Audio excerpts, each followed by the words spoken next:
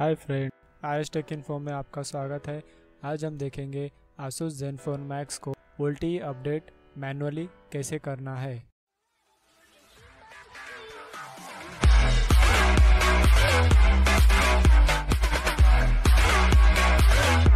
Asus Zenfone Max को manually VoLTE update करने के लिए आपको यूएसबी केबल और एक पीसी या लैपटॉप की ज़रूरत पड़ेगी।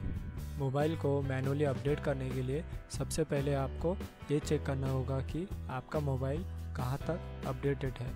उसके लिए आपको मोबाइल के सेटिंग में जाना होगा। सेटिंग में जाने के बाद आपको अबाउट में जाना होगा। उसके बाद सॉफ्टवेयर इंफॉर्मेशन में जाना है। सॉफ्टवेयर इंफॉर्मेशन में आपको बिल्ड नंबर चेक करना है। यहाँ पर आप देखेंगे, बिल्ड नंबर मेरे फ़ोन में 13.8.26.50 तक हुआ है। हमें इसके आगे इसे अपडेट करना होगा। अपडेट करने से पहले हमें यह भी चेक करना होगा कि इस सॉफ्टवेयर के आगे कौन सा अपडेट फ़ाइल यूज़ करके इसे अपडेट करना है। उसके लिए यहाँ पर मेरे पास आसूस सेंटर से आया हुआ मेल है, जिसमें स्टेप बाय स्टेप लिखा हुआ है कि किस सॉफ्टवेयर के बाद कौन सा सॉफ्टवेयर अपडेट करना है। इस मेल में उन्होंने हमें लिंक भी दिया हुआ है। हमें ये सॉफ्टवेयर ये सॉफ्टवेयर वर्जन्स कहाँ से डाउनलोड करना है, ये लिंक मैंने डिस्क्रिप्शन में दिया हुआ है। जहाँ से आप ये वर्जन डाउनलोड कर सकते हैं। हम इस पर क्लिक करेंगे। आशूस के ऑफिशियल वेबसाइट ओपन हो गया। ये देखिए जेनफोन मैक्स यहाँ पर आपको ओ एस सेलेक्ट करना है। एंड्रॉयड और यहाँ पर आपको फर्मवेयर में जाना है। फर्मवेयर में आपको यहाँ पर देखेंगे, यहाँ आपका वर्जन्स दिए हुए हैं। तो हमें ये चेक करना है। अभी फ़िलहाल मेरा मोबाइल इस वर्जन तक अपडेटेड है। तो हमें ये वाला डाउनलोड करना होगा इसके आगे।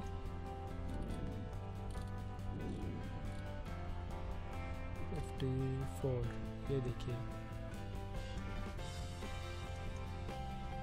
Thirteen point eighteen point twenty six point fifty four हमें इसे डाउनलोड करना है। इसे डाउनलोड करने के लिए यहाँ पर नीचे देखिए डाउनलोड फ्रॉम ग्लोबल लिखा हुआ है।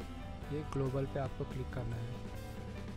ग्लोबल पे क्लिक करने के लिए, करते ही आपको यहाँ पर डाउनलोड के लिए पूछेगा। ये देखिए, यहाँ पर डाउनलोड स्टार्ट हो गया है। ऐसे ही हमें एक एक करके सारे फाइल्स डाउनलोड करने होंगे।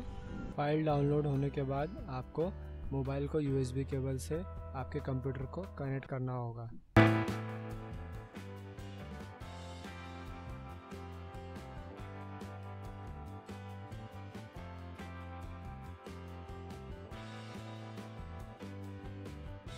मोबाइल को कंप्यूटर से कनेक्ट करने के बाद आपको माय कंप्यूटर में जाना है। माय कंप्यूटर में आपको मोबाइल का फोल्डर ओपन करना होगा। मोबाइल का फोल्डर ओपन करने के बाद आपको इंटरनल स्टोरेज में जाना है मोबाइल के। मोबाइल के इंटरनल स्टोरेज ओपन करने के बाद आपको जो अपडेटेड फ़ाइल है उन्हें आपको यहीं पे कॉपी करना होगा। तो हम डाउनलोड फ़ाइल में जाएँगे। डाउनलोड फ़ाइल में जाने के बाद आपको आपका अपग्रेडेड जो फ़ाइल से अपग्रेड करना है, उस फ़ाइल को आपको सेलेक्ट करना है। सेलेक्ट करने के बाद उसे कॉपी करना है यहाँ से। कॉपी करने के बाद आपको मोबाइल के इंटरनल स्टोरेज में जाकर उसे पेस्ट करना है। इंटरनल स्टोरेज में ओपन किया हमने। अब यहाँ पर उसे पेस्ट कर देंगे। अभी यहाँ पर आपका अपग्रेडेड फ़ाइल जो है, उसे पेस्ट हो रहा है यहाँ पर। आपका फ़ाइल यहाँ पर पेस्ट हो रहा है। पेस्ट होने के बाद आपको मोबाइल से आपका सिम कार्ड और एच कार्ड मेम यानी मेमोरी कार्ड आपको निकालना होगा और आपका फ़ोन का बैकअप भी लेना होगा, क्योंकि इसमें कभी कभी आपका फ़ोन रिसेट भी हो जाता है। तो हम इसे कॉपी होने देंगे यहाँ पर। कॉपी होने के बाद आपको आपके फ़ोन पे एक बार चेक करना होगा इंटरनल स्टोरेज में कि फ़ाइल कॉपी हुआ है या नहीं।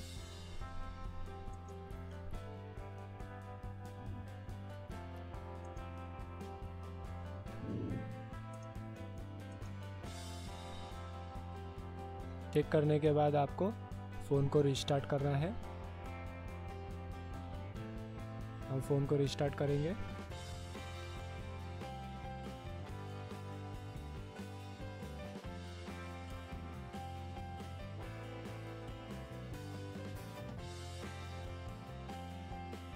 रिस्टार्ट होने के बाद आप देखेंगे, आपको एक नोटिफिकेशन आएगा सिस्टम अपडेट फ़ाइल डिटेक्टेड उसे आपको सेलेक्ट करना है। आपको वो वर्ज़न बताएगा, आप कौन सा वर्ज़न में अपडेट होगा। ओके करना होगा उसको।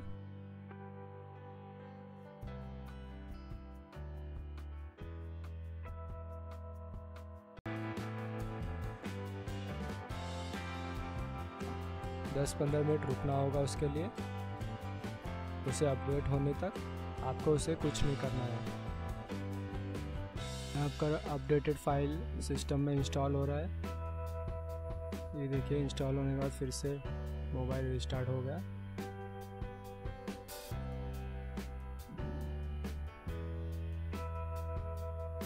स्टार्ट होने के बाद ये देखिए एंड्रॉयड अपग्रेड हो रहा है। यहाँ पर देखिए, मैसेज आ गया, सिस्टम इज़ अपडेटेड। अब हम अपना फ़ोन चेक करेंगे वो कहाँ अपडेट हुआ या नहीं। सिस्टम इंफॉर्मेशन में, ये देखिए, यहाँ पर चेंज हो गया। ये 54 से हो गया, चेंज। यहाँ तक होने के बाद इसके आगे हमें ये 60 वाला अपडेट करना है, उसके बाद ये 76 वाला करना है।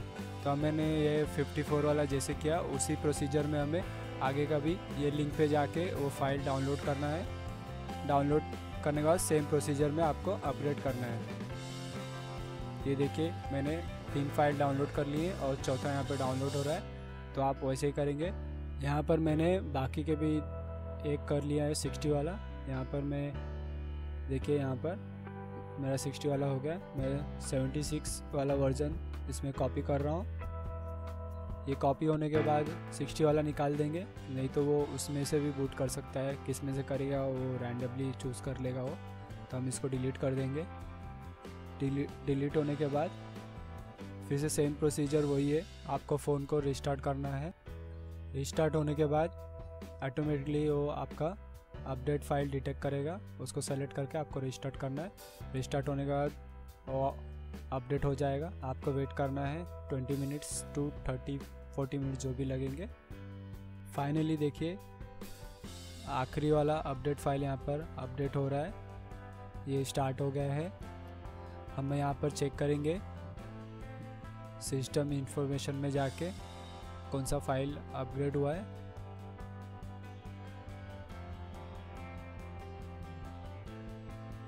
सेटिंग में जाएँगे।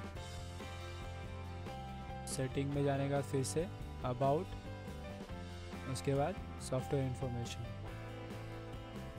यहाँ पर देखिए 13.8.26.76 पे अपग्रेड हो गया अब हम अपना जियो सिम हमारे मोबाइल में इंसर्ट करेंगे।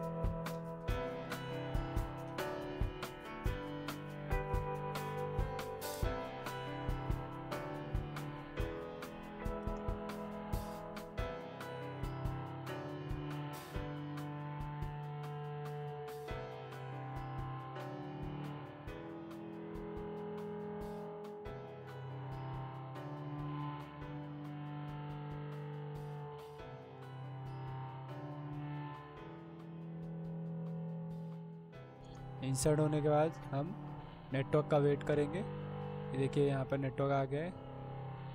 वाईफाई बंद कर देंगे। और यहाँ पर देखिए यहाँ पर वोल्टी का नेटवर्क आ गया। ऊपर वोल्टी लिख के आ गया। वोल्टी फोर जी मैं उम्मीद करता हूँ आपको वीडियो पसंद आया होगा। इस वीडियो को लाइक करें शेयर करें कमेंट करना ना भूलें और इस चैनल को सब्सक्राइब करना भी ना भूलें। क्योंकि मैं ऐसे वीडियो आपके लिए लाता रहूँगा। धन्यवाद।